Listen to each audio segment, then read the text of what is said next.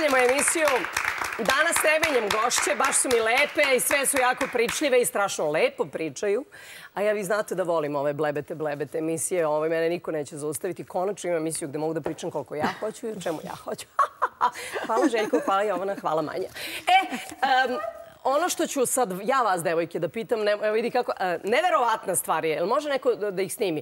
E, ne možeš ti, ovaj, ali posle ćeš da ih snimiš. Kako god ja kažem, devojke, sad ću nešto da spitam, one sve ovako gledaju pod, kao nemoj mene, nemoj mene. E, sad ste gotove. Nekako se prirodno na ovu temu sreći nadovezuje tema koju smo nazvali da li verujemo u čuda. Jel verujete da postoje čuda i da su čuda moguće? Jel veruješ? Dajte gospođi, ovaj, jesi gospođica ili gospođa? A, nema više gospođica, sve smo gospođe, jel znate to? da, da, ukina. Znači, za gospođa si, bez obzira na to da li si se udala. Šta je za tebe čudo, na primjer? Pa neki neočekivani događaj, mislim, koji može da se smatra čudom, jer nije bio verovatan da se desi. Dobro. Jel si ti doživala nekad neko čudo u životu? Pa više puta manje ili veće čuda. Šta je najveće čudo koji misliš da si doživala? Mm, pokušavam se setim. Pokušaj. Ja, ja sam strpljiva, imamo vremena pa, imala sam, da, da, da, da. Desilo mi se da mi je ukradena novčanik u gradskom prevozu. Dobro, I, to je normalno. razmišljala sam, pošto nešto sam trebala kupim, bilo mi nazgodno da se vraćam kući. Bila je koša u Beogradu, skrenula sam u ulicu, pa mogu da kažem, Resavsku. Nikog nije bilo na ulici, novčanik je, vetar je naduvao novčanice ka meni, a žive osobe nije bilo na ulici. Znači, one pare koje su ti ukrali u autobusu, sebi su se vratile na ulici. Jeste. Gde si bila u kojoj to ulici? Resasko ulica. Ja imam neku kupovinu u planu, pa neko ako neko nešto duva, da mi naduva, da izvinete. Ovaj, duva ovi dana. Pa da, ne, košita ovih dana. Nekako čini mi se da, da su ovi praznici, ti praznični dani, najviše ih spajamo sa tim čudima. Čak i reklame snimaju kao neka božićna i novogodišnja čuda. E sada, pod čudo vrlo često možemo podvesti neko, recimo, ozdravljenje koje nema objašnjenje. Čuda su nešto, ja zapravo mislim da je mašta jednaka čudu. Ti radiš sa decom i direktno si povezana sa maštom i dalje si u kontaktu sa svojom maštom. Je li imaš otprilike osjećaj ili neku predstavu o tome šta je za tebe čudo i da li si ti doživala neko čudo u životu? Ja mislim da su čuda svaki dan. Mislim da kad čovjek radi s decom, čuda su svaki dan. Mhm. Kada samo čujemo njihova čuda, to kako oni vide sve to kod nas, to je čudo. Ja mhm. znam kako odrastam, da kažem, kako sam mhm. sve starija, da mašta mora da se vežba. E, to je problem najveći. I da e, ne prestanemo mi da verujemo u čuda koliko mi prestanemo taj naš deo mozga da koristimo. Ja onda volim da ga vežbam. Ja recimo, Kako? Ja recimo deci u svojoj školici kažem da sami izaberu uloge koje žele da budu. I to onda bude svega. Oni budu zeke roboti, budu barbike koje imaju uši kao meda, budu najneverovatnije stvari. Ja onda moram kod kuće da napišem predstavu koja je smislena, koja ima pouku. Za te likove? Tako je, koja je mjuzikl, koja dete od tri godine može da ispriča, otpeva, izrecituje, već šta god. Mhm. I da ima te uloge. I to, ja svaki put kažem, kad napišem predstavu, ja trčim kod supruga, on radi od kuće, ja kažem, ja sam opet napisala predstavu koju sam opet uspela. Ti si srećna žena, čovječ. Kad smo već pričali o sreći, ti si vrlo srećna žena. Ti si stalno u kontaktu sa, sa, nekim divnim ljudima. Te, šta te učini onako ovaj, besnom, nervoznom, osim tvog deteta i muža, naravno? Niko na svetu ne može da ti pokvari dan kao tvoje sobstveno dete. I mama? Da. Dobro, da. Izvini, mama, ne. Ne, vi nikada. Ne, šalim se. Pa, svašta može da me naljuti, recimo, ako mi se mnogo jede nešto slatko, a baš ne radi poslastičarnica ili... Jeste, jeste, to ume da bude baš gadno. Jeste, ili ja imam, ne, uvek ima nezgodnih klijenata, nezgodnih... Ja uvek kažem, niko nije konstantno srećan, to je, mislim, to je zabluda i to me ne treba živeti. tako da, ni ja. Koliko god da sam okružena decom, ima dana kada mi ne prije rad s decom kada kažem pusti me čovječe, ne vidim te mede i vilenjake i ne vidim ih danas, nisu mi se tu došli, nije mi uključen taj deo i ja tako isto prespavam ili odsedim i kažem sad ću sedim, budem namrštena i to moj suprug najbolje zna. Nekad bukvalno sedim i budem namrštena cijel dan. I kažem, neću da pišem predstavu i neću da pevam pesmice. I neću danas, pa se onda vratim i tako. I onda budeš opet maštalica. Pa jeste. Nabela, jel ti veruješ u čuda? Uf, da, i tekako. U kom smislu? U onom religijeznom smislu? Jer vrlo često čuda povezujemo Pa ja sa ne, ne povezujem. verom u Boga, sa verom, znaš, ako se dovoljno dugo moliš, ako odeš na neki, do, u neki manastir, tamo će da ti se desi čudo, tu neka čudesna situacija. Šta je za tebe čudo? Pa ja sam maštala, recimo. E, dobro. Jel maštaš još uvijek? Da, da, maštam. Ja sam recimo imala tu jednu od terapije je bilo da, da ovaj, uh, uh, brinem o detetu u sebi, da pričam s njom, da plačem s njom, da. I tačno sam imala sliku sebe sa 3-4 godine, kako sam izgledala. Vratilo mi se sve u detalje i prostor u kom sam se nalazila tad u svojoj kući u, u Bosni. Ma sve, mislim, nevjerovatno, do te mere da sam miris mogla da, da ostim i od, ne, mogu, ne mogu ti objasnim. Ali puno sam morala da radim na tom detetu u sebi, jer je zapravo ono bilo povređeno. I to dete je... ranjenom detetu. Da, Na detetu da. Senke izvu, izvlačila si je i isceljivala kroz psihoterapiju. Tako, ja sam dosta, ovaj, uh, z- znaš kako, natera, naterana sam, da kažem uslovno rečeno, da shvatim da, da je ta za kojom, sa kojom sam plakala, za kojom sam plakala, koja je jednom momentu od bola i umirala meni pred očima, od bola, tako mala, koju su na neki način, pa neću reći, niko, nijedan roditelj, niko od svom Ne radi detetu- to svesno. Ne, to Rade najbolje što mogu i zaista sam to shvatila i hvala im na svemu. I čak i tim nekim traumama jer su me one napravile baš ovakvom kakav ja sam i, i, i te frustracije nas čine ono, jačim. Tako da ovaj, radeći sa tom devojčicom eh, sam ono što sam naučila, što mi je bio otkriće, eh, da kažem, moment kada sam shvatila da sam na neki način izlečena. Čekaj bre, pa to sam ja. Aha, znači nisi se više obraćala nekom stranom detetu, nego si shvatila da je to, da si to Sve ti. ovo si prošla, ti tamo ta mala sad koju ja, s kojom ja plačem i nad kojom se sekiram. I vidite sad, sediš tu zdrava, prava, radiš na sebi, radiš, postaješ bolji čovjek, radiš na tome da budeš bolji čovjek. I sebi, i prema drugima, i drugima, i ovom svetu. I... Aplauz, ono kao. Da, aplauz. E, to je bilo, wow, to je tako, evo sad da osjećam jezu, to je tako bilo kao da je neka, ono, neka koža koja nije bila moja. Znaš, ono, To je trenutak kada osjetiš Wow, kraj, to je bilo, da, čudo, neviđeno čudo. Samo kao da udahnula neki potpuno, no, ja osjetila kao se rađam ponovo, neki, neki nekontrolisani uzdah, izdah je izašao iz mene, kao moment kad se dete rađa i ono, znaš, kao da će zaplakati, da će, eto, tako sam se osjetila. I, ovaj, I od tad je krenulo da se dešava tako brzinom ljudi, ja vam ne mogu pisati. Znači, sutra dan je mene poslovno krenuli su da me zovu ljudi. Ja sam mislila da više nikad neću uzeti mikrofon u ruke, da više nikad neću smeti stati pred ljude, da, da ne tražim mrska lica. Ono, znaš, kao, vidi je, vidio ja ovo, mrzim te, crkla da Bog da, ono, znaš, ono, mislim, klete. A samo da te pitam nešto, evo, da, da li si zapravo... Ja se sećam kad sam se razvodila, to je recimo bio jedan od najgorih perioda u mom životu, eh, kada su mediji toliko, mislim, uglavnom neistinite stvari pisali Da, o, o svemu tome. Ovaj, ja se sećam da sam izbegavala da idem na mesta gde bi me neko sreo. Da, da. Imala sam utisak da mi na čelu piše da će neko da me pljune. A zapravo nisam nikad se susrela sa nekim ko mi je uputio neku negativnu. Da li si se ikada zapravo susrela sa nekim ko ti se obratio? Jer vrlo često su to ljudi koji ti se obraćaju kroz socijalne mreže, u komentarima, ali, Uživo a uživo ne. Ne, ne. O tome ti pričam, zapravo, ali mi ne vredi, to je neki strah koji ti navučeš i nema, nema objašnjenje. Uh, ali misliš što ti kažeš kao da svaka osoba koja prođe pored tebe, koja te možda čak ni ne vidi, ne primeti, Tako ima je, nešto te protiv tebe. To je tvoj Tako je. lični dojam i to je ono zapravo što, što ti govori da si loše. Znaš, a sve to suprotno počinješ da vidiš kada si dobro. Vidi, si me voli. Bila, gledala sam skoro neki film gde isto jedna žena se susreće sa samom sobom i u jednom trenutku toliko poradi na sebi, uspe i tako dalje i na kraju filma na Petoj aveniji sreće je neka i kaže, jeste vi ta i ta? Ona kaže, jesam, izvolite. Kaže, sram vas bilo, ne znam, ovaj, ona je recimo belodanila neki, neke svo, neko svoje pokušaj silovanja i mobinga sa nekim muškarcem koji, koga su ljudi obožavali jer je javna njegova slika bila potpuno drugačija.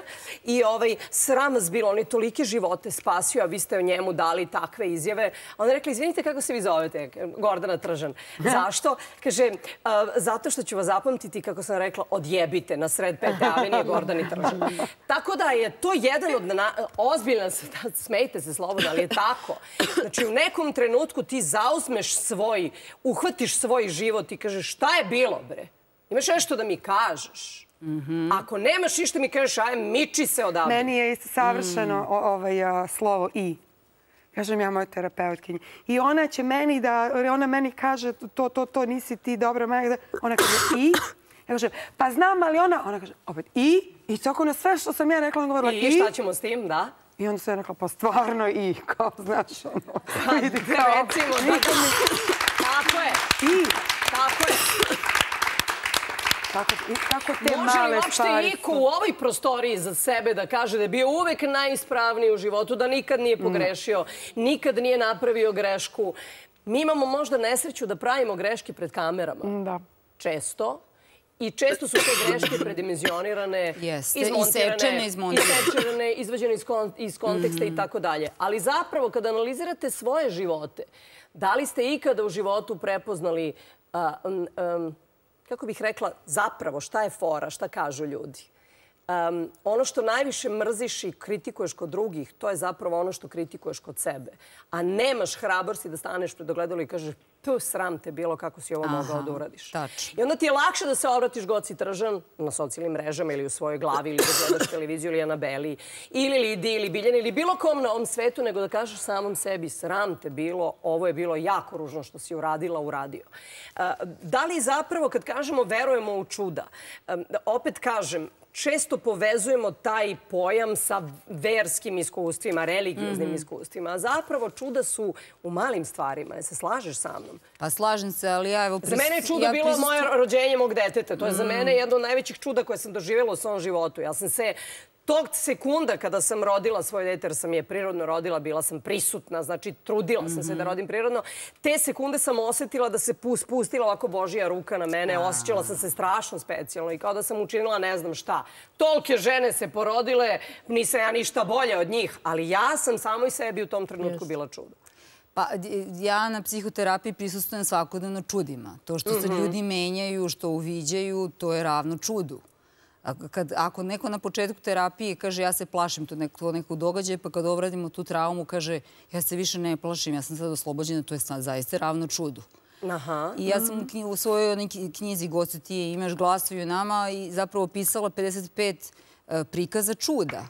To je 55 seansi gde se desio proboj, gde su ljudi mhm. počeli drugačije drugačije da razmišljaju, drugačiji način. Znači, nije čudo samo ako neko iz mrtvih ustane da izvinete, nego su čuda svuda, u svakom trenutku. Nije. A e, ovaj, ja sam isto imala, e, kad sam ostala trudna, e, pošto sam pet godina čekala, imam neuropatski bol, inače već 16 godina trpim bol, stalan bol, konstantan, hroničan bol. U, imam da ti pošaljem na jedno mesto. E, dobro, drago mi je, super. Ovaj, I onda sam rodila sina eh, prethodno pijući baš neke teške tablete i bila sam na nesreću u bolnici u Nemačkoj posjeti mom bratu i tamo su me skenirali, ma na magnetnu su me poslali kad su vidjeli da imamo ovo eh, internacionalno osiguranje, da mi to iskoristimo sve živo. Tamo gde se ne čeka red, Ja sam zahvalna mom bivšem mužu jako, sam on posle dva dana došao avionom i iščupao me iz te bolnice gde su me bukvalno sve. Ali ja sam imala utisak da sam zaštićena. Imala sam utisak da sam nekako da sam zaštićena. Isto je bila tamo jedan onako, uh, bio jedan krstić koji sam ja gledala jer sam plakala od bola. Ja sam došla zbog spazma leđa, stomačni virus, loše sam se osjećala. Nikad mi nije dao tabletu da mi pomogne tamo, ali su me slikali sve zdušno ali sam imala utisak, uh, utisak da, da me nešto, kako da kažem, uh, spaslo.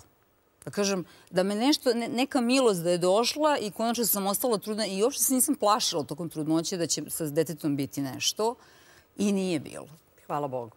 hvala Bogu. Ali to je meni bilo ravno čudu. Ravno čudu, kako da kažem, ta Božja milost i radost u stvari, jer ja sam vrlo brzo potom shvatila sam truda, u toj bolnici još nisam znala, ali vrlo brzo shvatila sam truda, da. Čemu maštiš? Pa sad, sad onako ništa specijalno u odnosu na to ranije, mogu reći. Sad sam onako više pustila da stvari idu. Ono, to što sam maštala, namaštala sam se, mi se sad sve ostvaruje. I puštam onako sebi da uživam u, u plodovima, mhm. jer nevrovatno je koliko je sve onako kako je bilo u glavi. Prene, pre, prenešena slika, ono, ne, ne možeš da veruješ. Znači, u detalje. Znači, ono što, o čemu si maštala, to ti se ostvarilo. Bez obzira na to da li je crno ili belo ili žuto ili crveno. Pa vidi, maštala sam najiskrenije o pozitivnim, lepim stvarima. Tako je. Tako znači, je.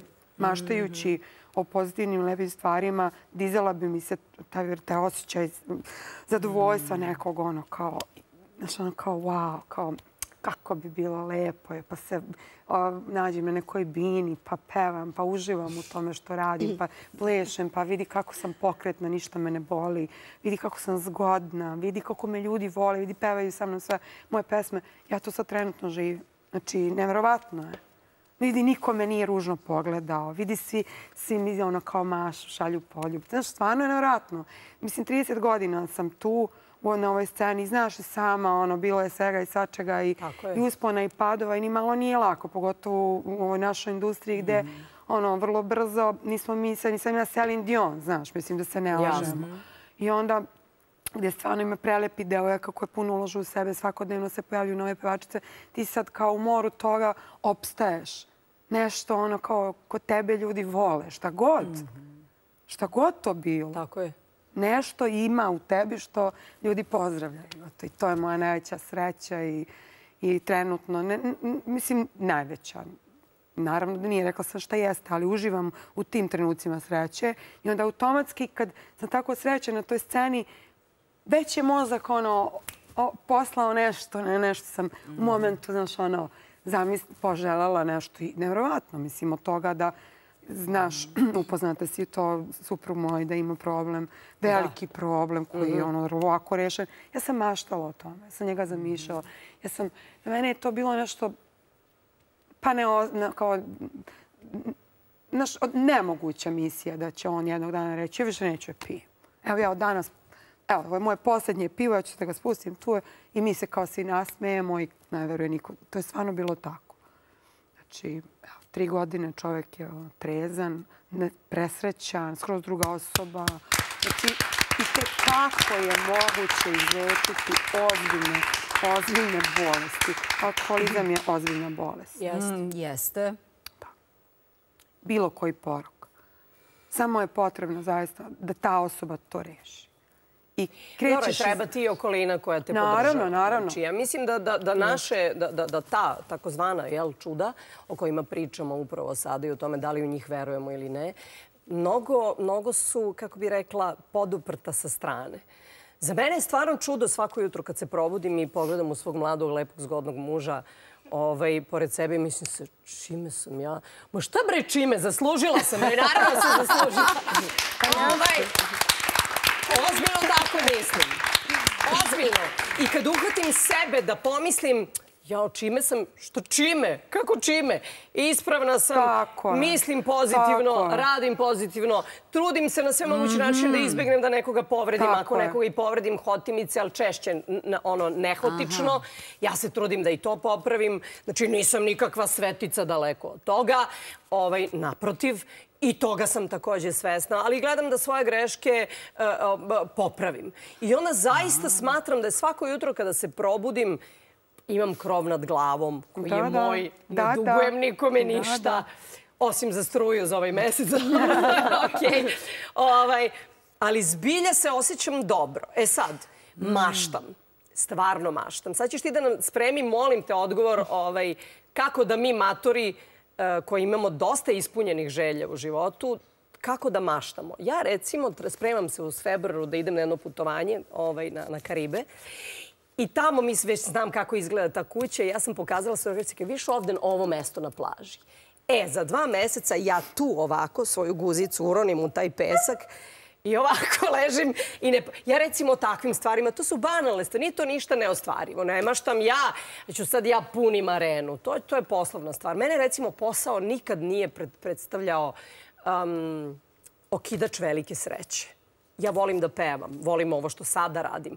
Ali mi to nikad nije stvaralo najveće zadovoljstvo u životu. Najveće zadovoljstvo u životu su mi stvarali ljudi oko mene, da su srećni i ja sa njima srećna i zadovoljna.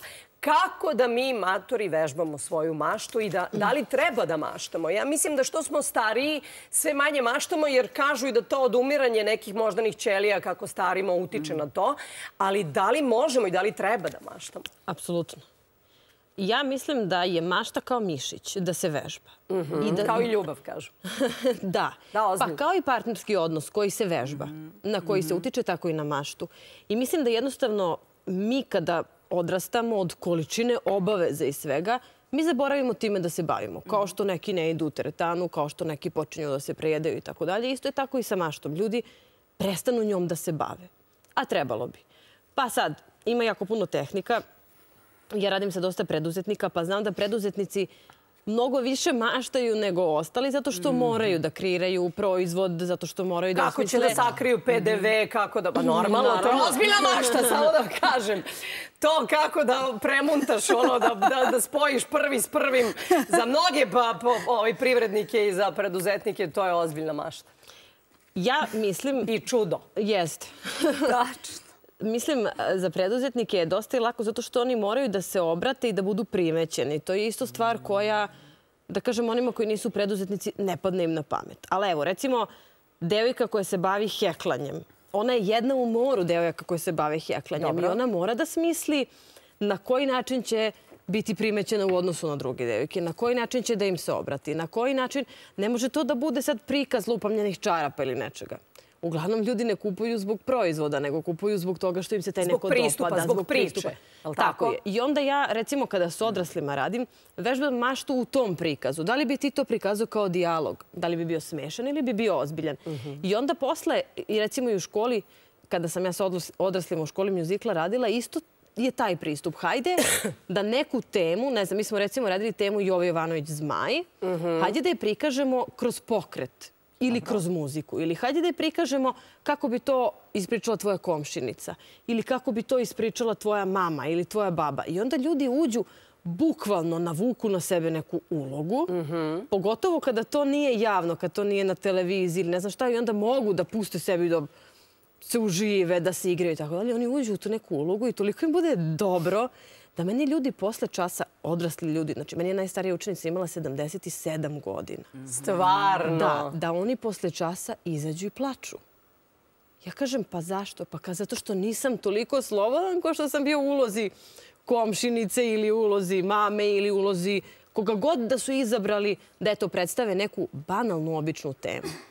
I mislim da je prosto svakodnevna mašta ta da mi iskoračimo iz sebe i kažemo hajde da ja, evo recimo ove kugle, namestim kako bi to namestilo moje dete ili kako bi to namestila moja mama. Ili hajde da ja danas ručak spremim onako kako bi to kako to vidi moj muž. Ili da ja zamislim iz njegovog ugla kako to izgleda. Da li to izgleda kao ja u nekoj sekciji spavačici? Daj da se obučem danas kako bi moj muž zamišljao. Ok, idem gola po kući. To je to. Pa, to je to. To je bukvalno to. Da prosto svakog dana dozvolimo sebi da ne budemo u kalopu sebe? E, to je pravo pitanje. Da li biljo razna naša traumatska iskustva kojih imamo mhm. realno? Svako od nas ima neko mhm, traumatično iskustvo u životu. Vidi, da samo uh, da ti se roditelji razvedu, pa to je za ogroman broj dece uh, traumatično iskustvo, da ne pričamo o nečemu ovaj, još težem. Kažu da traumatične iskustva ostavljaju tragove ne samo na našem mozgu, našim emocijama, nego i našim mišićima, našim kostima, našem DNK. Tačno. Koja se čak prenosi generacijama, transgeneracijski se to prenosi. Mhm. E sada, da li ta vrsta nasljeđa, odnosno ta vrsta traume, odnosno ta vrsta ožiljaka ovaj, koje nasleđujemo, to se zovu sun scars, um, da li um, da li oni mogu da nas spreče u tome da maštamo i da, da ne verujemo više u čudo? Pa može. I porodična uverenja. Ono, budi usmeren na uspeh. Budi, mislim, što je danas. Jel? Moraš da budeš uspešan, moraš da budeš produktivan. Naravno da to ovaj, skraćuje maštu. Ali sam još nešto htjela reći. E, pošto sam radila u školi 16 godina kao pedagog, testirala sam decu sa 6 godina za polaz. I to su takvi odgovori, kreativni. Mhm. Dakle, isti upitnik za sve, isto se sve radi. Međutim, deca takve daju e, odgovore interesantne. Da sam ja to sve zapisivala. Posle sam to čitala tamo u ovaj, nastavnicima i učiteljima. Bilo je jako smešno. To je bila lepa knjiga, samo ti kažem. Mhm. Deca su jako kreativne u tome. Međutim, onda krenu u prvi razred i usmere se na te ocene i usmere se na jedan način razmišljanja. I e, ja ovde, nažalost, moram da kažem da je škola i faktor tog uniformnog načina razmišljenja, mhm. gde mi ne možemo ovaj, toliko pustiti maštu na volje. Naravno, to mnogo zavisi od učiteljica. Ako mhm. učiteljica po sebi kreativna, na primjer, moja učiteljica radi ilustracije i tako, e, onda je to neka druga stvar. Onda je to neki drugi senzibilitet. Ali vrlo često, e, vrlo usko, i onda već kad krenu u drugi, treći razred, razmišljaju vrlo slično. I onda je jako važno da mi vidimo šta dete voli osim te škole, šta od sporta, ali stvarno ono da voli. I da dozvolimo deci da nešto probaju i da nakon toga e, e, probaju nešto drugo, probaju nešto treće.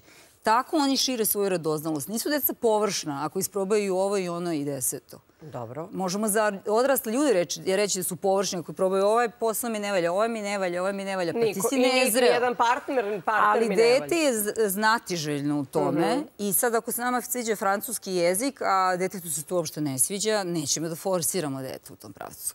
Eto, to sam samo htjela reći. Ovako, imam jednu genijalnu misao, ali moja genijalnost je upravo isparila. Ne znam šta ću s njom.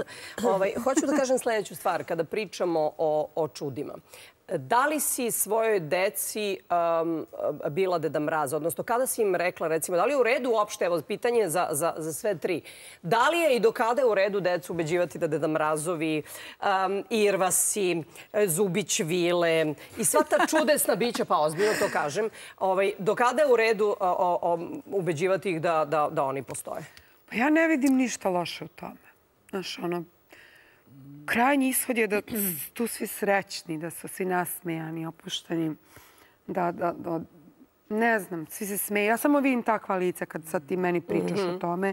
Sve mene su samo, evo, ja imam tri čerke, sad i unučicu. Samo vidim to nešto slatko mm. nasmejano, nešto čeprka tamo po onim kesama, nešto. Deda mrad, ja bi donio. Kad su saznali, nikad niko nije napravio nikakav problem. Kad su shvatili vreme, znam ja mama da si ti deda mraz da me zagrli ovako. Pa Hvala. Pa naravno. Šta, ni, ni, ništa loše se iz te priče nikad nije izrodilo. Tako da ne vidim, znaš, ono. Mm -hmm. Pa ne vidim, neke, mi kažem... možemo napraviti decu star malima. Znači, to ono što sam ja vidjela u školi, možemo ih da ono, e, učenik prvog razreda svima ide i objašnja da Deda Mraz ne postoji, jer u stvari tata insistira da bude sve realno, objektivno, te onda dete ide i svima govori ne, ne postoji Deda Mraz, meni je moj tata rekao, meni je moj tata objasnio. Šta si ti njemu objasnio? Ti si njemu ubio maštu. Jest. Ništa mu nisi objasnio. Ali kad je u redu dete tu reći, pa, mislim, u redu moje dete je već sa šest godina bilo, pa, ajde, ajde, da me polirate. To, ja znam da ti ako dete samo, ako dete samo to već, e, onda si stvarno šta ga ubeđi, u redu je. Dođete zagrlim. Bravo. Evo, znači prihvatanje to, prihvatanje. Nikakav problem, nijednog momenta, niti sam ja pravila, niti su oni. A meni je strašno, nedavno, mislim, taj Halloween, niko to ne slavi, nikako to niko ne slavi. Ne zovem ga nikako, zovem ga maskenbalom. Svi smo svi srećni Tako što se pretvore u nešto da maštaju. Da, nek šta će biti on, ja, on je ovo, on je ono. Pa se igraju. Pa, pa na, na, iz tih kostima nastavljena čitava priča neka tamo. Ne vidim ništa, loš, dajte ljude se zabavimo to. Pa neće, ko će ti zameri na tome? E, to mrzim to kad, je, kad ništa ne radiš kako treba, a na takvim stvarima se praviš nešto kao nešto. Ne znam, eto. Mislim da uopšte nije tema Deda Mraza. Tu je mhm. tema da deca u nešto veruju. Jer ako danas veruju Deda Mraza i u Zubić Vilu, sutra će verovati da može nešto da postigne da uradi. Pa će verovati u Boga, pa će verovati u čudo, pa će verovati u psihoterapiju, pa će verovati da proba ovo ili ono. Ako mi u ranom uzrastu detetu kažemo ne, to ne postoji, postoji samo ova realnost šta ti možeš da dodirneš, šta ti... Sutra ćemo One da se nikad pitamo... ništa ne zamišljaju više. Jeste, ali poslije ćemo mi da se pitamo. Kako to da moje dete nije ispunilo svoje snove, kako to da moje dete radi dosadan posao, kako to da moje dete nema dobar brak. Tako što ako ne veruje u čuda u ranom uzrastu, neće u sebe verovati da može svašto nešto da mu se desi lepo, da može Hoćeš da, da kažeš da postigne. smo svi, mi svi pona osob svako čudo Pa za sebe. jeste, jeste tako. Ja se slažem s ovim. Kažu da, da, ne znam da li to, za to znate zašto smo zapravo čudo. Kažu da, e, da, da bismo se mi ovakvi sada, kakvi smo, izrodili i živeli ovaj život sada koji živimo, preko milion i po naših predaka je moralo da prođe određen životni put da bismo mi... Znači, mi smo statistička pobeda. I u tom smislu smo čudo. A često zapravo sebe ograničavamo upravo na ono što možemo da dodirnemo, da vidimo, da postignemo. Jeste. Često je zapravo ono što ne možemo da postignemo jednako čudu i često zapravo to što ne postižemo materijalno, postižemo unutra, u svojoj glavi. U, u, u, I sve što ne doživimo i ne opipamo ne znači da ne postoji. Tako je. Znaš, to je problem što ljudi... E, nisam vidjela dinosaurusa, nema šanse da je postojao. Znaš, primjer danas. Jest. To, to, to mi je recimo isto strašno učiti decu tome. To je i strašno povezano to kada decu naučimo da ne postoji nešto što je čudo. Da kažemo recimo sad Deda Mraz. Istovremeno je to lekcija da ih učimo da ako jednom nešto nisu uspeli, da neće nikad ponovo uspeti. Ja kažem, može da se desi da je dete, evo kod mene, na primjer, da je izašlo na scenu i da se uplašilo i da nije znalo svoj tekst. Ali to je okej. To ne znači da će sljedeći put to isto da se desi. I roditelj ne treba da se postavi, e sad ako ti sad nisi naučio, šta će biti sljedeći put? Bolje nemoj sljedeći put. Ne. Nije Pusti naš ga. život jedan uspeh.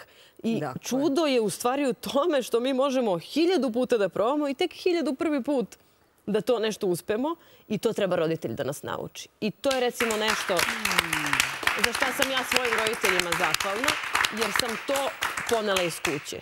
I mislim da većina preduzetnika nosi iz kuće to neko znanje gde su nas roditelji naučili padni, padni, padni, padni, hiljadu puta padni. Ali u jednom trenutku ćeš ustati. A gde, ćeš, gde te onda vodi? A ne padni i ostani. Eto, tu ništa, ne I nemoj možeš ti više da sad ustaješ ništa. jer je sigurnije kada sediš na guzovima. Da, da, da. Da. A, a, Znaš šta, meni, a, ja imam nekako utisak da ljudi koji ne veruju u čuda i koji- kojima roditelji ili im životne okolnosti ubiju veru u to da nešto može biti, se kasnije mnogo teže nosi sa svim drugim životnim izazovima. Od čak ni, ni, lepe, ni u lepim stvarima ne mogu le, da, da, da potpuno uživaju, a da ne pričamo o tome koliko se teže nose sa izazovima koje život stavi pred njih. Tako Od je, neuspeha na poslu, u školi, razvodi, ne daj Bože, neki smrtni ishodi nečega. A, Jel to... To je tačno. Ovako, pesimizam i negativizam, znači da se fokusiranost na loše stvari se nosi iz kuće. I kad smo mali, to je adaptivno. Zato što ne možemo mi, ako su roditelji jako pesimistični, ako crno gledaju, na primjer, moji su takvi bili, udesit će se nešto. Mislim, to je isto posljedica nekih trauma, mi smo isto izbjegli, izbjegli smo iz Hrvatske, tako da nisu oni baš to, nije taj Tek pesimizam tek takav, ali to pravi nama problem kad porastemo. Zato što baš tako, onda ne vidimo neke prilike, mi samo tražimo neprilike. Aha, i samo tražiš e, upozorenja.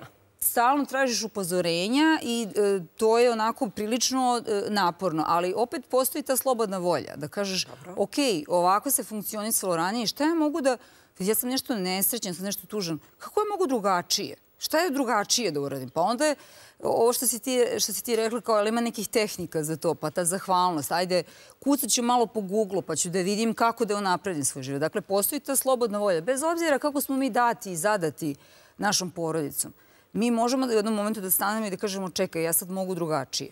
Kako drugačije? Ajde, pitam, ako ne znam. Vidi, lako je to reći.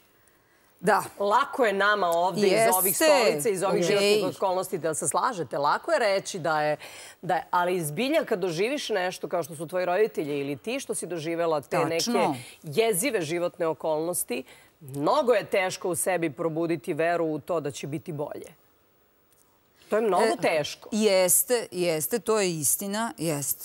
I, i zna- ali znate šta, pesimizam i negativizam ima i svoju svetliju stranu. Imaju neki ljudi koristi od toga. Štiti ih. Štiti ih od mnogo toga. Dakle, štiti ih u smislu oni ne napreduju, ali zadržavaju ono što imaju. I to što imaju, za to se ljudi, za to se ljudi i bore. Ali ne idu dalje, ne napreduju dalje. U Ali zar pesimizam nije nešto što je potpuno odsustvo endorfina, oksitocina i već kako se zove. Pa vodi oni- ka tome i vrlo često vodi ka depresiji, da. Da, Jeste, naravno. Čekaj, a da li verovanje u čuda može da se pretvori u onaj toksični optimizam? Može da se pretvori. Ja sam baš, kad smo spominjali čarobnjaci, vidovnjaci, nemojte predavati svoju sreću u ruke drugome. Nemojte, mislim, znate kako, eh, nemojte, čak i onaj, onaj, da kažem, banalan primjer astrologije i to, ali ti opet daješ, ti, da, ti daješ da te neko isprogramira. Nemojte se dati isprogramirati. Eh, Mislim, ja čak imam I da utisak misliš da da to što si čuo ne može da se promeni. Znaš, ona ti je Naravno, rekla, sad ćeš ti ovu godinu cijelu da plačeš i gotovo ti si sad već ono, aktivirao. Da, ali mi, Da ćeš da plačeš. e, mi moramo da preuzmemo rizik da ćemo napraviti pogrešan korak, ali da smo mi izabrali da ta, da, sa najboljom namerom. Niko nama ne garantuje ni uspeh, ni sreću, ni, ali se trudimo, borimo se i stajemo iza toga. Da, ja sam to uradila. Kako što je Anabela rekla? Da, ja sam izabrala u jednom momentu da idem u reality, mislila sam da će mi je to dobar potez, pa sam se gadno opekla. Ali stajem iza toga, izabrala sam, niko mi nije naterao. Bože to je moj. velika stvar. Ali vidi, mnogo je to teško. Jeste, ja se mnogo slažem. je ljudi, to je, to je Jest. jako teško. Jest, jest. Teško je izvući se iz tog uh, Jest. i verovati da ćeš ipak neko, da će to neko po znacima navoda čudo da se desi i da ćeš ti ponovo, kako si rekla, stati na binu, imati ljubav, imati... Stati na noge, na pre svega. Ono, ustati iz kreveta i stajati na svojim nogama bez bolova. Za tebe je samo to bilo čudo, fizički da doživiš. Ja sam, ma ja sam bila ubeđena da je to kraj. Međutim, nešto mi je u meni ono govorilo, ne, ne, ovo nisi ti, ovo nisi ti, ovo nisi ti. Ali to ti čuješ kao neki glas ili... ili, ili... Misao neka, nije neka neko osjećanje, duboko nešto. Ne, znam, ne, ne. Znam da me je proganjalo me. Proganjalo me misao, to nisam ja. Ovo sada, ovo, ni, spoj moje duše i ovog tela, tu se negde ra, razišli su se. Moja duša je negde, o, znaš, kao da su telo i duša u raskoraku nekom bili. Jel Vidite što mogu negativne, Da. negativno okruženje, Kao da sam se rastala sa dušom i ne umem da, se vratim. Znaš, ono, I o, sam te, od- kad sam ti rekla kako sam promene osjetila na sebi, tačno sam osjetila znaš, kad je duš, duša došla ono, svoje kući. Ono, kao, To taj je duševni- takozvana Božja promisao. Mislim, Ne to, često to ljudi povezuju sa tim. Sam se osjetila da sam konačno Ne znam, ne, čudno, čudan je. Pa dobro, Super je što da fenomenološki setim. doživljeno je to. Setim, tačno se setim kako sam se osjećala. Kakav je odvratan to je osjećaj bio, ona, ona rupa u stomaku, onaj osjećaj nesreće, konstantne, stalna misla, Bože, kako sam nesreća. Bože, kako sam nesreća. Ja sam kažem, nisam pomislila na tu rečenicu, ne pamtim. Wow, kako sam samo mogla to da, da, da izgovaram i da pomišljam na to. Kakva glupost, čuj, kako sam nesrećna. Troje dece, zdrave, žive. Bože, okolnosti su takve. Dajde da radimo tome, to promenimo. Ukrenem sve u u kontra. Ja to hoću, ja, ja pre svega hoću. Znaš, hoću. Dovoljno A, da volja je važna. Volja je važna. Dakle, nije važno samo želeti, nego ja to hoću, ja ću da podu, Puno puta mi poduzmem nije nešto. uspelo. To je ono teško, Nije to meni ništa iz prve uspelo. Puno puta sam Naravno se ja da nije, nikome znala ne- i ići, ići, ići, Mhm. deset dana pa se vratim u kraj. Kažem, daj, ne, ništa od ovog, ovo je propalo sve. Pro, znaš, gotovo, potpiši da je kraj, lezi tu i čekaj sudnji dan. Mislim, ali onda opet. Tu je ta znatiželja jako bitna. Da, Da. prosto na- ako- naučimo, tako je. To, a šta ako Da ipak... naučimo da, da, da ono puzimo po rupama i tražimo šta nam to treba. Jer jako često mi ne vidimo ispred sebe i to su te neke naučene radnje. Ja jako puno puta čujem reči svoje mame ili reči svoje bake. One nisu moje.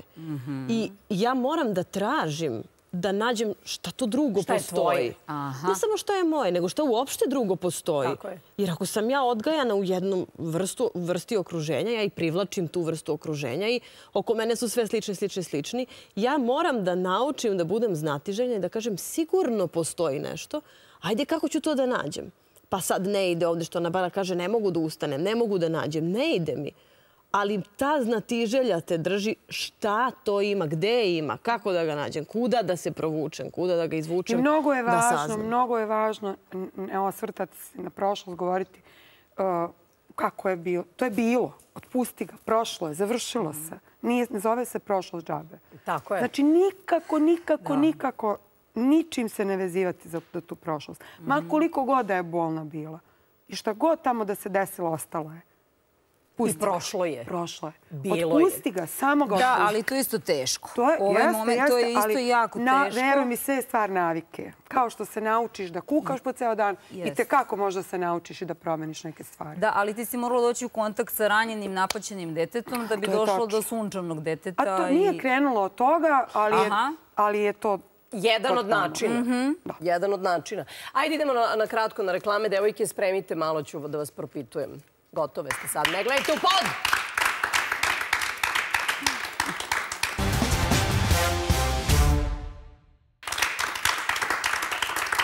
Mnogo smo lepih, interesantnih misli danas čuli.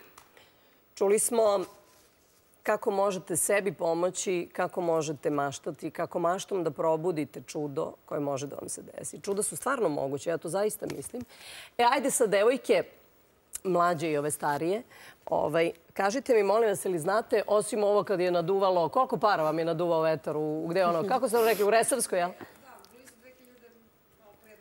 2000 dinara, vidi, možda jedeš bri da odeš.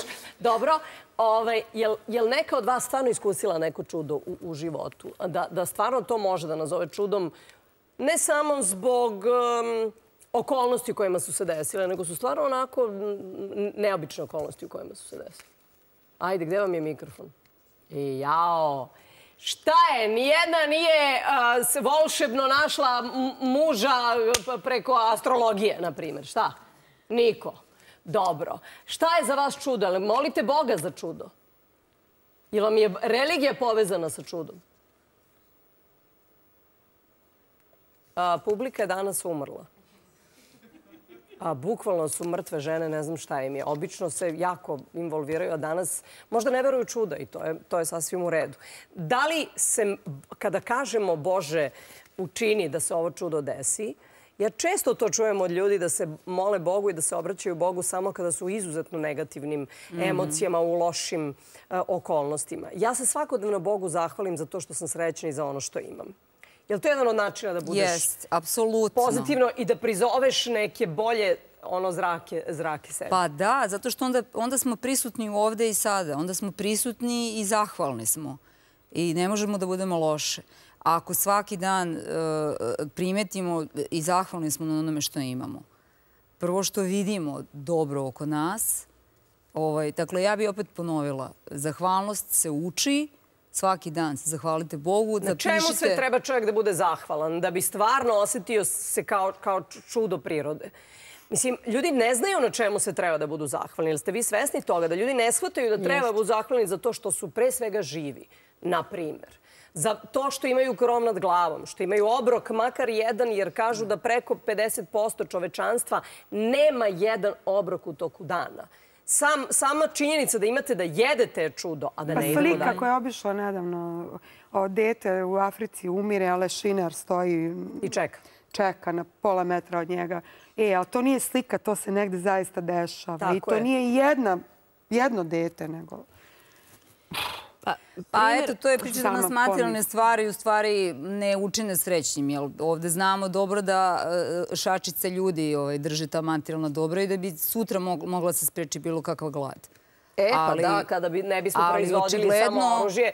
Kažu da se toliko hrane u toku e, dana jednog baci, mogli bi se nahrani, ne znam, ono, kompletno svi gladni bi mogli od jednog a, a, a, bačenog kontingenta hrane dnevno da se nahrane. Međutim, mi ne razmišljamo o tome na taj način. Ali ja mislim da su bogati ljudi zapravo uplašeni za svoje materijalno dobro. Inače bi podelili.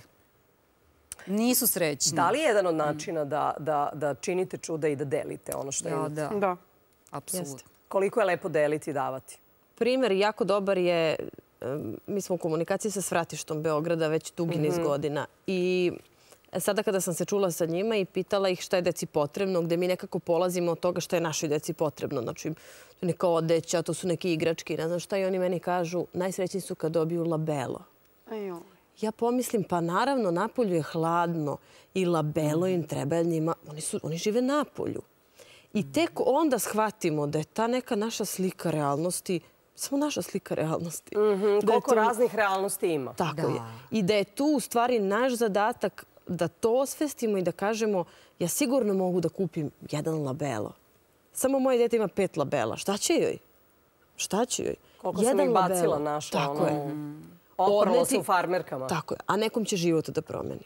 I taj deo je stvarno važan. I uvijek treba krenuti od malih stvari, od sitnica. Ovo što nije bitno sada da li ja mogu, da li imam mogućnost da dam nekom 10.000 eura. Znaš, ono, da li je moja pomoć u 10.000 eura. Ja imam porodicu koju spakujem garderobu od mog deteta. Ja znam da je to pomoć. I ja znam u startu da sam... I to te čini da se osjećaš divno. Znači, e, ne mora, ja nemam da pomognem. Ti imaš, ali ja nemam. Znaš, uvek imaš nečim da pomogneš. I deset dinara je pomoć. Jer ćeš dati ti deset, pa će ovaj deset, pa će... Kad bi svi tako razmišljali, veruj mi, i ove poruke na kraju krajeva uopšte nisu loše kad malo pomisliš. Razmisliš koliko god nam to teško padalo kao decu lečimo mhm. porukama. Opet smo našli načina da nekom pomognemo. Znaš, tri poruke, jedna poruka, nebitno. Kažu da je magija deo života. Kad pričamo o čudima, često pričamo o magiji životnoj. Mislim, često magiju rađanja, magiju ljubavi, ma sve, za, sve nazivamo nekako magijom. Ono što ne možemo da objasnimo rečima često, jel da? Tako je. Svoje emocije koje ne možemo da objasnimo nazivamo magijom ili čudom. Kaže, deca na svakom koraku zamišljaju magiju i ne mogu da maštaju bez nje. I kod odraslih je slično. Često očekuju neko malo čudo ili na svoj način stvaraju magične trenutke. Um, Da li je magičan trenutak ono što može da nam ulepša svakodnevno? Mislim, meni je magičan trenutak da ležim da grickam kokice sa svojim mužem i da gledamo film koji nam se sviđa. Pa on zaspi, pa ga ja češkam po kosi. Meni je to dovoljna magija, ne treba mi ništa više od toga. Ali kako stvoriti magične trenutke koji će nam probuditi tu želju za čudima i, i, i tu verovanje u čuda? Naročito evo danas u ovim danima, znaš kao prazniči dani, pa kad vidiš sve reklame koje gledaš vezane za proizvode koje ta naravno treba da kupiš jer se sve radi za to da bi kupio, ali ipak ti budi to neku vrstu pozitivne e, emocije. Ja mislim da je slušanje tu najglavnije. Mhm. Da ako slušamo, da krenemo od, evo, deteta, na primjer. Jako malo roditelja sluša svoje dete. Što dete zaista želi i zašto dete ne zna da kaže. Ono kaže želim biciklo, a u stvari samo želi da sa mamom se vozi zato što je videlo da mama vozi biciklo, mhm. na primjer. Znači da slušamo i da pitamo zašto. Pa da krenemo od deteta pa svog partnera, pa od svojih roditelja. I onda da krenemo da slušamo okolo i onda će nam mnogo biti lakše da damo, jer će biti mnogo lakše da se primi kada zapravo neko dobije ono što mu istinski treba. I mislim da se tako stvara magija. Jer ako ja dam, recimo, Anabeli nešto što njoj treba, ona će da shvati da se ja nju slušala i da kaže ok, daj da ja poslušam danas svoje dete, pa će ono svom detetu dati šta njemu treba. Pa će njeno dete da vidi, aha, mene mama sluša, ajde da ja slušam svog drugara u vrtiću. Pa će vaspitačica i tako redom. I onda se u stvari pravi niz magije da sam ja nešto dala, pa taj neko zbog toga dao nekom drugom. Nije magija ja tebi, ti meni, nego to drugo. Da, zato što um, se upravo to, kad nekome daš, najčešće ne dobiješ od njega, dobiješ sa neke potpuno druge, druge strane. Uh, koji su za tebe magični trenuci bili u životu koje, si povezivala sa nekim baš lepim uh, emocijama, za koje smatraš da su ti onako pa polu čuda u životu? Pa moje najveće čudo, moja Mija. To ti je unuka? Da. Stvarno? Pa eto, sva ta nesreća i sva ta bol koja je mene negde na to dno odvela je bila uh, proizvod uh, nesuglasica između mene i njenih roditelja. Mhm, dobro. I sad zamisli to dvoje ljudi da se nije spojilo, što ja nisam želela. Da, jasno. Ja ne bih imala moje čudo.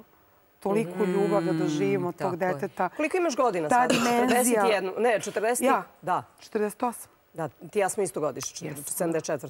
Znači imaš ja mnogo sam u januaru sad 48 punim, e, ali tu smo. Dobro, tu smo negde. Ali u suštini imaš mnogo veliku sreću da si rano rodila prvo dete, pa već sa 48 godina, odnosno koliko sa 47 si postala baka. Da, da. A, čuj, bak. Zovem ovu ženu bako, vidi kako izgleda jezivo. A ja se trudim još jednom da zatrudim. dobro, Znači, moje a- dete će dobije i baku i mamu u isto vreme, odlično. I šta? I? I? I? I? Kad može Bridget Jones, kako zove, ne Bridget Jones, može Bridget Nilsson. Jeste, Koliko? tačno. 58 je rodila. Jeste. Što, što ne bi mogla god sa. Ma, jo, nešto neće me zaustaviti ništa. Ništa, ali, naravno. ali ovaj, interesantna stvar je da li je istina da zapravo, to, ja recimo to vidim po svojim roditeljima, koliko taj osjećaj da si nekome baka ili deka je čudesan sam po sebi, jer em, svoju decu voliš naravno iznad svega. Ali nekako, ja sam sto puta mami rekla, mama, imaš i čerku, mislim, ljubi me, ona, Da, da, da. ona odmah čim uđe s vrata, joj, babino! Ja se mislim, ju, gde, gde, gde je otišlo ono moje? I onda tako nekad se malo ovaj, izmazim sa mamom. Pa malo eto, sam ne, da. ljubomorna čak, znaš, na, na, na taj... Na taj um, To ne može da se poredi uopšte. da, ne može da se poredi, jel Druga da? dimenzija, E, ajde da tebe pitam iz prve Ja- ruke kakav je to osjećaj. Ja na, na njenom krštenju i sad gledam i ne verujem. Suza suzu stiže. Kažem, Bože, došla sam u ovaj grad sa 17 godina. Rat je. Ne mogu da idem kući jer sam ja u Švajcarskoj bila kad je počeo rat. Ne mogu da se vratim svojoj kući. Ne mogu se vratim svoju domovinu. Ne mogu kod tate i mame. Čovječe, znaš, ono, strašno. Poginuo mi je dečko koji je ono, bio moj centar svega, kog se sportista bio vrtalo se sve. Mislim, oko njega. ono. Nemam ništa, nemam nikog, nemam kuću, nemam, nemam ljudi, nemam ništa. Komad hleba. Malte ne ono, nisam na ulici, ali, ali jednim delom jesam. Idem tamo vamo. Sad sam ovde dva dana, sad sam tri dana. Kako, gde možeš da se pro, provučeš? I sad ja, ljudi u ovom gradu, vidi jedna čerka, druga čerka, zet, uh, muž, unuče, Znaš, ono, vidi, ja sad ovde ostavljam korenje, ovo, znaš, ovo su moji potomci. ovdje se sad ozbiljne stvari, ono, nastavlja se neka moja loza, nešto, ono, deo mene, ono, piece of me, vidi ga, ono, kao tu, pop je krsti, ona mu daje neku svoju igračkicu, ja gledam, ja kažem, vidi, ovo, ovo, ovo je čudo, znaš, ovo je stvarno, ovo je... Samo sam pomislila, eto, koliko, koliko sam bila srećnica, jedna velika, ono, da, da to doživim i da, da, da, da kažem ono, s ponosom. Ja sad više ne, nemam stvari. Kako, kako, posle toga ja kažem, šta želiš? Šta želim? Bez veze, znaš, ono, kao. Hvala. Mm. Stvarno jeste. I uvek mi se plaće kad pričamo o tome, nevjerojatno. Znaš šta, ovaj, ja sa, zapravo kroz ovo što ti pričaš, razmišljam o tome koliko smo zarobljeni u, u te eh, želje o materijalnom, koliko ne vidimo, koliko su te male stvari čudesne oko nas. Od toga da imamo unuče koje je zdravo pravo da baulja. Da, da. Da su često ljudi koji su prošli kroz, stravi, kroz stravične životne situacije. Ja imam nekoliko takvih prijatelja koji su zaista imali izuzetno težak život ekstremno težak život, za razliku od nas koji smo ono, odrasli s mamama i tatama, imali sve što nam je bilo potrebno i nama stalno nešto fali, a oni su uvek srećni i zadovoljni. To je neverovatna stvar koliko zapravo ljudi koji se celog života strašno bore za, za što ti kažeš, za koru hleba, za, za, za ono suv krov nad glavom, kako su srećni i zadovoljni. Meni je to impresija koja, koja me uvek um, obuzme kada sam sa nekim svojim prijateljima koji su sada uspešni, bogati ljudi, ali su imali jezivo težak život. Ono, išli da peru javne WC da bi imali, da donesu mami i, i bratu ovaj, da, da jede. Znači, dotle, a danas su uspešni ljudi i recimo to su ljudi koji svojim komšijama, komšijama Romima svakog meseca uplate 150 eura Mm. obližnjoj pekari da idu da jedu za taj novac. E, to su čudesni ljudi. Mhm. Zato što znaju. Jeste. Zato što znaju šta Kako je je. nemati i kako je nemati.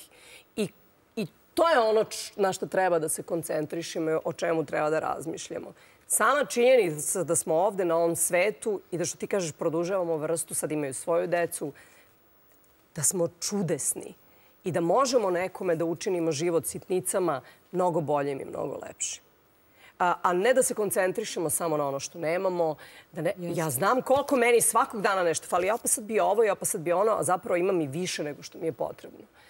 Nekako ljudi koji su izašli iz tih stravično težnih, teških situacija životnih, kakvih god, se mnogo više raduju životu nego, nego ljudi koji su imali sve. I to je To, to je jeziva činjenica. Da je tako, ne, um, kako bi rekla, mm -hmm. opozit jedno drugom, da je to neverovatno. Mm -hmm. Pa da, ali ove, terapeuti volim i volim bračni par su otkrili da ljudi koji dolaze iz vrlo traumatičnih e, porodice su vrlo često jako zdravi i da imaju neke faktore koje imaju, e, ko, koje ovaj, nemaju izgled nešto ovi drugi ljudi koji su u medu i mleku ovaj, odrastali, mm -hmm. ali redko ko je baš u medu i mleku. Uh, oni imaju sposobnost uvida. Dakle, uviđaju, uh, uviđaju stvari nekakve kakve jesu, realni su. Uh, uspeli su da se izdvoji svoje porodice u smislu, ok, oni su bili takvi jer ja sam drugačiji i postoje druge porodice koje su ok. Uh, imaju inicijativu. To su ljudi koji, ajde da nešto promenim. Ajde da samo, mhm. neću samo da kukam, nego sad ću nešto da promenim u mojoj situaciji. Kreativni su. Danas smo mnogo pričali o kreativni. Mašta je, mislim, da bi bili kreativni moramo imati maštu, jel? To je jako mhm. važno. Kreativni su. Šta je kreativnost nego pretvaranje ničega u nešto? Tako je. Duhoviti su a to je pretvaranje tragičnog u komično. To ti vrlo često ovde radiš. Da. To je recimo tvoje, ovaj, baš tvoj, tvoj ovaj, da kažem, faktor. Osim toga, e, uspeli su da se povežu s drugim ljudima. Možda nisu uspeli se povežu s roditeljima, ali su uspeli se povežu s učiteljima, s nastavnicima, sa drugom decom, sa nekim rođecima. E, I ono što je najvažnije, moralni su. I to je ovo što si ti sada rekla, 150 e, evra za tamo neko jer znaju šta su prošli. Oni hoće da učine ovaj svet bolji mesto. Tako da nas e, stresne situacije, to da smo odrastali u nekim teškim uslovima, u nekoj disfunkcionalnoj porodici, može na neki način i obogatiti kao čovek. Tako je. E, pa to su sve čuda koja nas To su čuda. Uživajte u praznicima koje nas e, očekuju. Devojke, bile ste magične danas. Prelepe ste bili, toliko ste lepo pričale. Ja vam se zahvaljujem od srca.